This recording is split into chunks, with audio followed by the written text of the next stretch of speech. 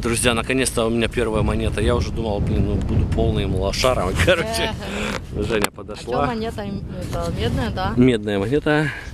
Значит, и вот она. Все-таки выкопал. Что у нас за монета? Тоже конь. Да? Да, это Ты тоже чё? вот такой вот всадник, значит. Это мы местяк нашли. Да, зачем вообще? Ну, не знаю, не, ну это ж на всадник, э, видите, Георгий Победоносец. Немножко ее цепанул, ну совсем немножко. Это будет Екатерина, мне кажется. Не, Поздравляю. Елизавета. Я вижу ты пенсию что Елизавета. Ой, ну прям там. Да. В общем, монета Елизавета Петровна. Это будет где-то до 60 до 62 года, по-моему.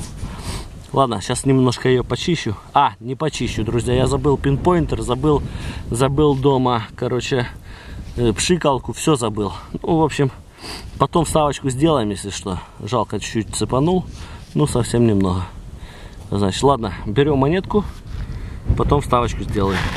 Покажем. Поехали дальше.